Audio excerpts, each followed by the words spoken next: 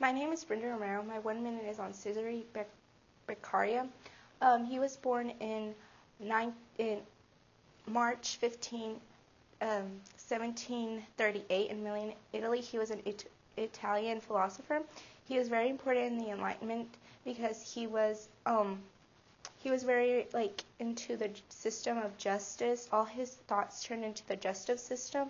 He also liked writing essays. One of his important and most um, read essay was um, was an, influenced essay was called was called on crimes and punishments, which basically talked about crimes and how they punished people in late back then.